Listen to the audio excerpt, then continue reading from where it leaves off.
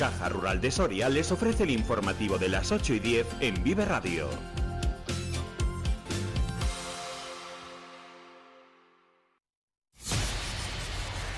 Vive Radio. Servicios informativos.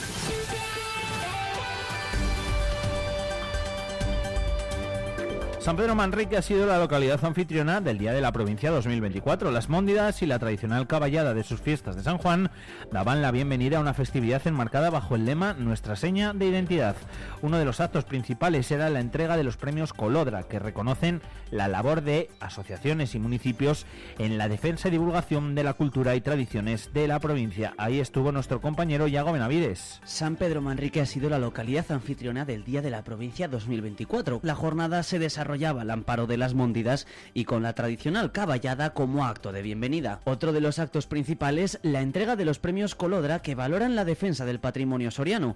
El institucional se lo llevaba la Peña Cultural Recreativa de Romanillos de Medinaceli. Son performances que tienen lugar en, el momento, en, vivo, y claro, tiene una dificultad grande. Primero hay que reconstruirla con la historia de los mayores y después poner, hacer una puesta en escena respetuosa. El popular era para la Asociación Cultural El Castillo de Alcoba de la Torre por su representación de la pasión con más de 150 personas implicadas. Realmente el municipio solamente tiene 20 personas pensadas.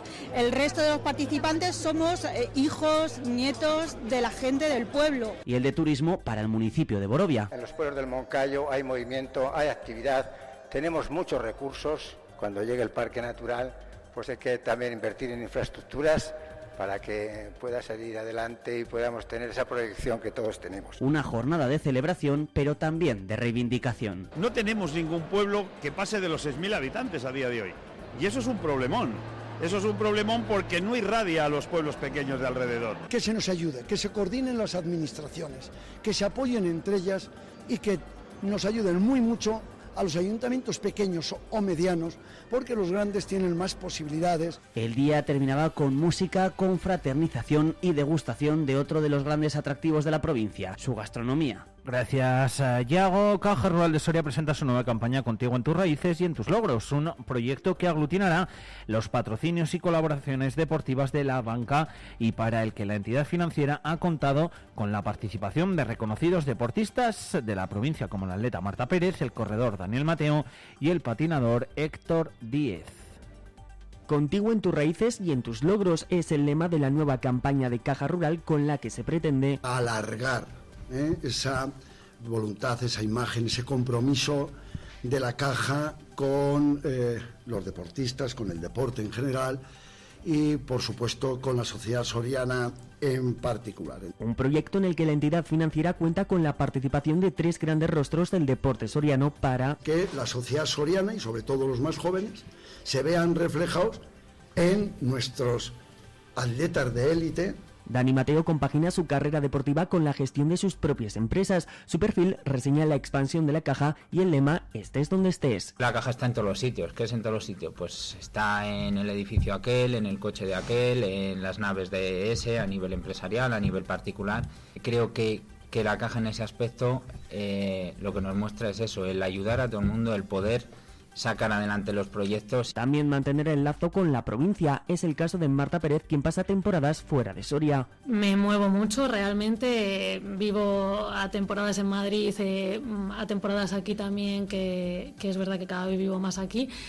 Y además viajo mucho, compito mucho, pero creo que soy una persona que por mucho que, que me mueva, siempre tengo pues uno de mis pies anclado a la tierra. Y... Por su parte, Héctor Díaz ha remarcado el papel de la entidad en su despegue deportivo. Para mí es un gran honor poder contar con el apoyo de la caja. De esta manera me siento más cerca de Soria, más conectado con Soria, mi ciudad natal y bueno, mis raíces. Desde hoy y durante los próximos meses, el apoyo de Caja Rural al deporte será visible gracias a la historia de tres nombres propios de la esfera deportiva soriana. Gracias Pablo del Campo. La revuelta de la España vaciada se ha reunido este fin de semana en Albarracín Teruel para reivindicar que se destine un 2% del PIB nacional a corregir desequilibrios territoriales. Proponen un pacto de financiación solidaria con una duración de 25 años. Entre las plataformas firmantes está Soria Ya, cuyo procurador Ángel Ceña ha protagonizado un desencuentro con el presidente del Partido Popular de Soria, Benito Serrano, que en el Día de la Provincia afirmaba que Soria está llena de oportunidades. Dice el señor Benito Serrano que Soria no está vaciada, que está llena de oportunidades. Coincido con él, está llena de oportunidades, pero Soria ha sido vaciada de población sistemáticamente. Un hecho, un hecho cuantificable. El 53% de los sorianos nacidos en Soria viven fuera de la provincia. No puede venir el señor Benito Serrano a negar la realidad. Basta ya de decir tonterías. Pues Benito Serrano en la mañana de ayer contestaba a Ceña de esta manera que van a escuchar. El señor Ángel Ceña está en tontería permanente. Lo primero que tiene que hacer es poner orden en su corral. Lo que no puede es ir por ahí eh, su compañera eh, hablando de Ceña ya, su compañera, no yo, su compañera, diciendo que no se hablan entre ellos. Yo pienso que mi tierra tiene oportunidades y estoy peleando porque mi tierra tenga oportunidades y estoy invirtiendo porque mi tierra tenga oportunidades. Este señor no es nadie para decirme, insisto, de lo que tengo que hablar o de lo que no tengo que hablar.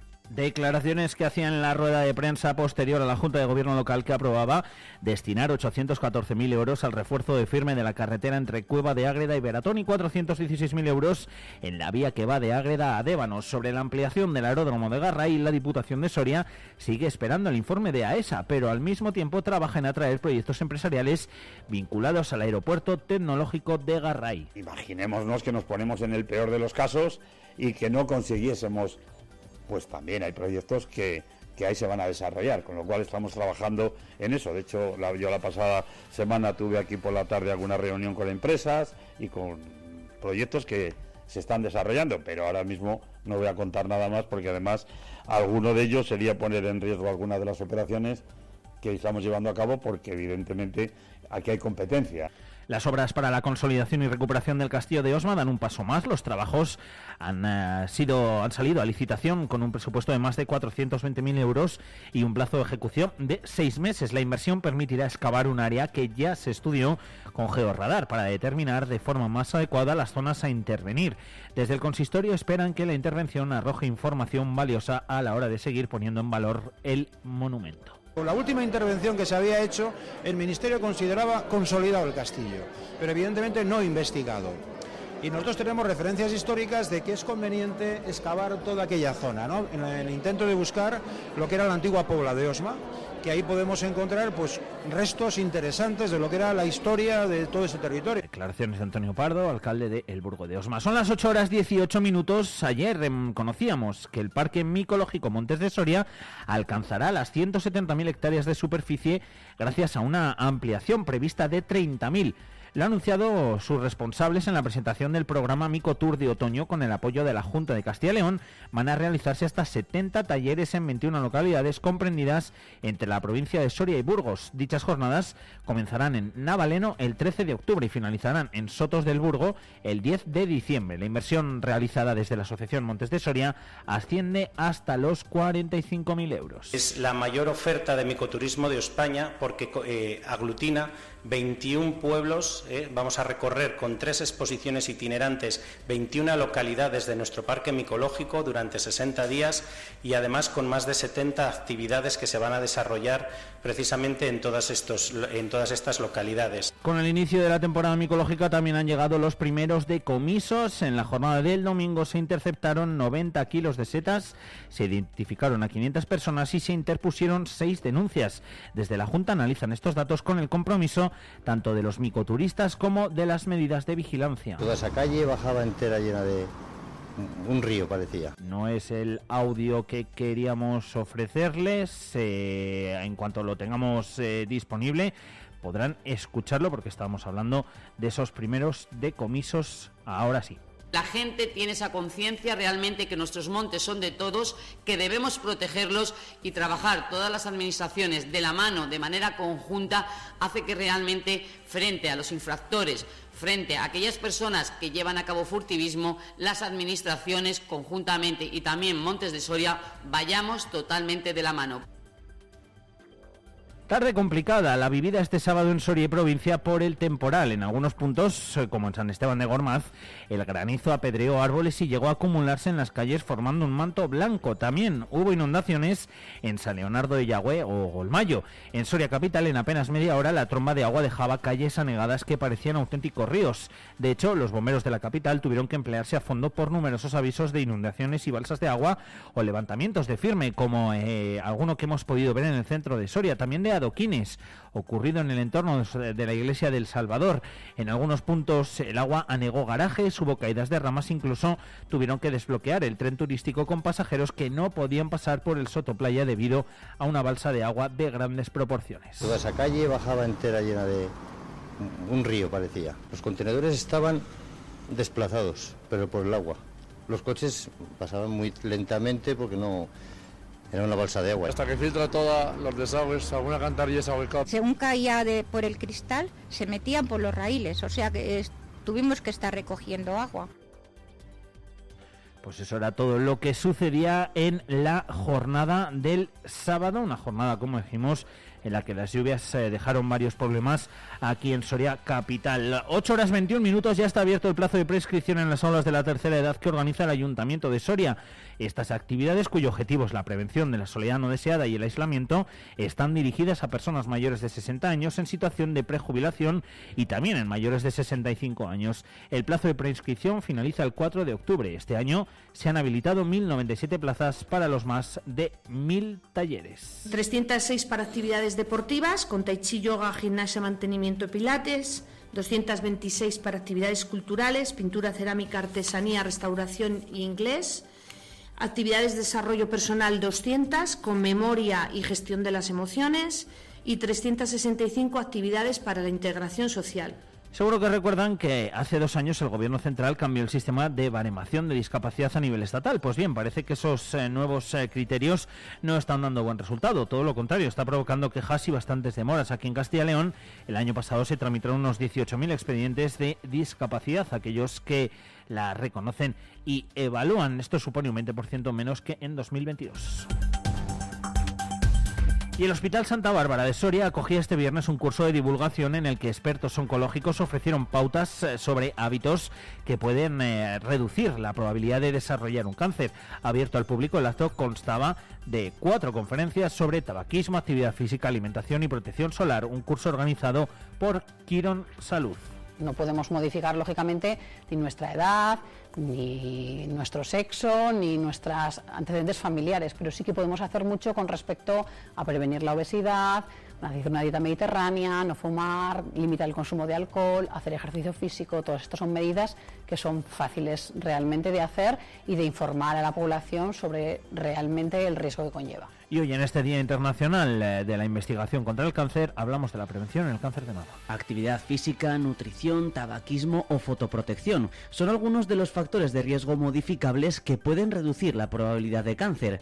Cuando hacemos deporte... Hay múltiples mecanismos a nivel biológico que afectan no solamente en la reducción del cáncer, sino en múltiples enfermedades crónicas. Al movimiento debemos añadir una dieta saludable, una dieta mediterránea. Lo tenemos perfecto porque tenemos todos los productos de cercanía y además aquí en Soria pues aún más para hacer este tipo de alimentación.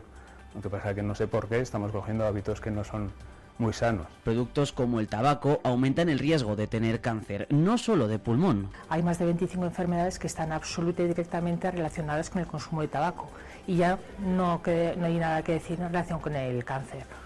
Uno de cada dos personas que consumen tabaco van a fallecer a consecuencia del tabaco. Si buscan ayuda de su médico de familia, hay tratamientos farmacológicos que ayudan a dejar de fumar y que están financiados por la Seguridad Social. Y en cuanto al sol, los expertos recuerdan los beneficios de la vitamina D, pero también la importancia de protectores solares. Fotoprotectores en crema, se llaman tópicos, eh, fotoprotectores orales que nunca sustituirían a los tópicos hay fotoprotección también a nivel vestimenta y siendo conscientes de que España es un país con mucha radiación solar. Pequeños hábitos que pueden reducir el riesgo de desarrollar un cáncer, pero sobre todo que tienen el poder de mejorar nuestra salud en el día a día. Gracias, Diego Benavides. A pesar de la lluvia, la Hermandad de Donantes de Sangre de Soria volvió a salir a la calle para recordar la importancia y la necesidad de las donaciones y animar a la población a que aporte su granito de arena. La Marcha por la Vida que organiza cada año cumple una década en un momento con cifras muy buenas de donaciones, aunque insisten,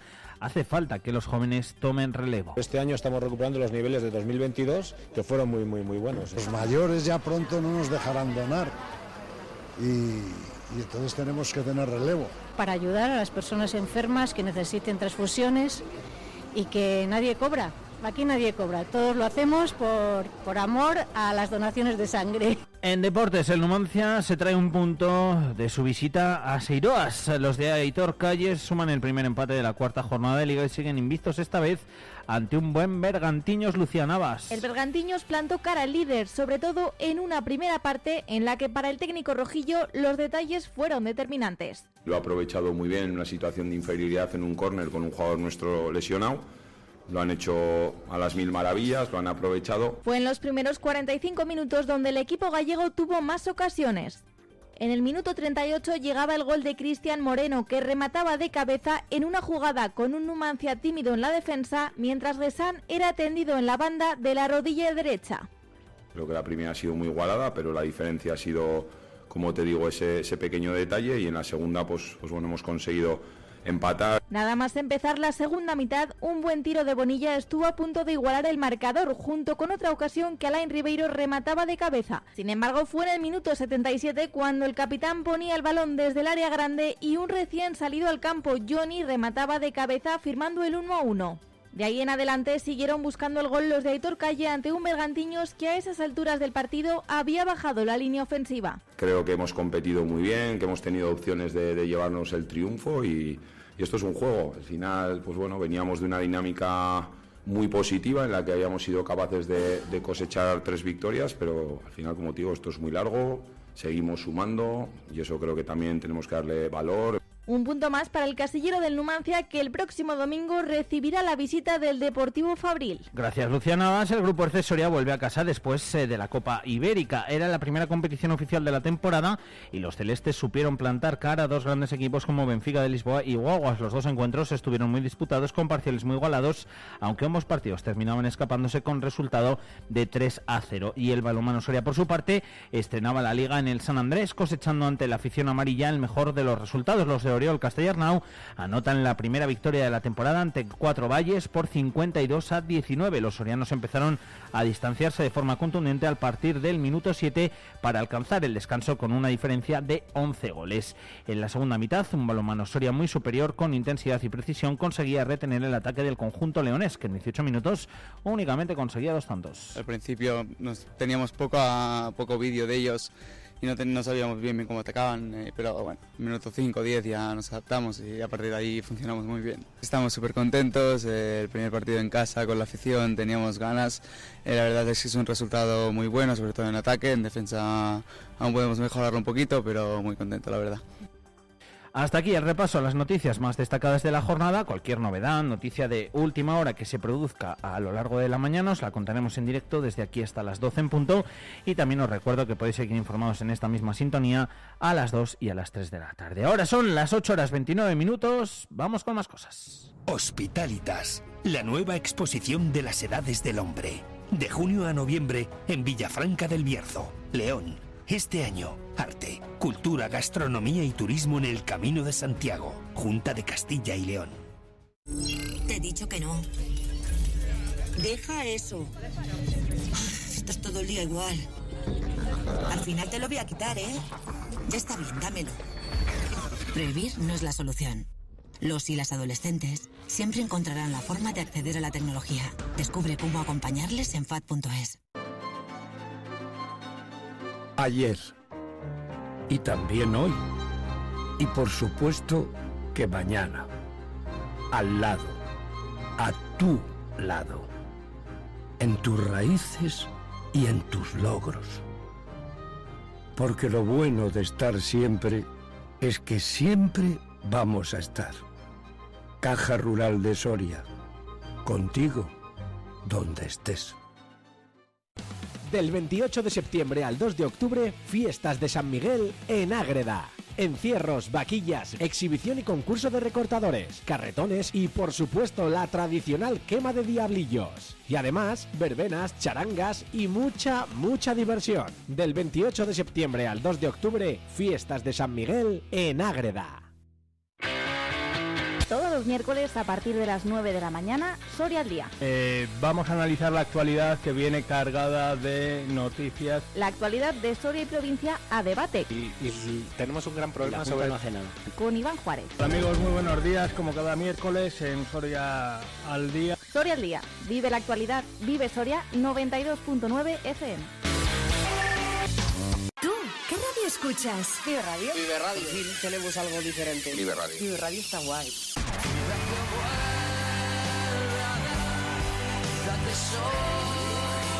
Vive Radio. Vive Radio.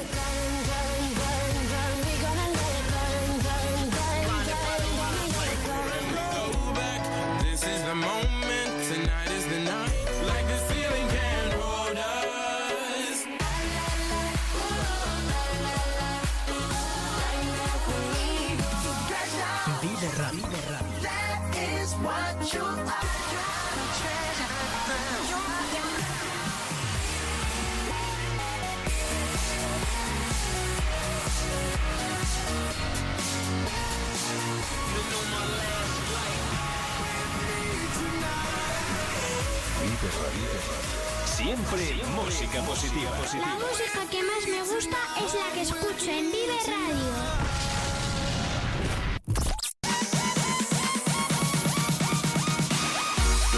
¿Y tú quieres ponerte en contacto con Vive Radio Soria? Mándanos un WhatsApp o un audio al 680-936-898 y te escuchamos. Vive Radio también eres tú. Recuerda, 680-936-898. En Vive Radio escuchamos lo que pasa a nuestro alrededor y te lo contamos para informarte. La radio es la primera voz que escucho en la mañana. Escucho noticias, escucho entrevistas. Soy muy fan de los podcasts. Para entretenerte. Por las mañanas, cuando vamos al cole. Y además es la sensación de que siempre tengo a alguien en casa. Como entretenimiento me, me gusta. Para emocionarte. Su transistor a todos lados hasta dormir. Vale, eran momentos en los que escuchaba también la radio y empezaba a descubrir. La radio es eterna, hombre, sin principio ni fin. Vive Radio. Vive la mañana.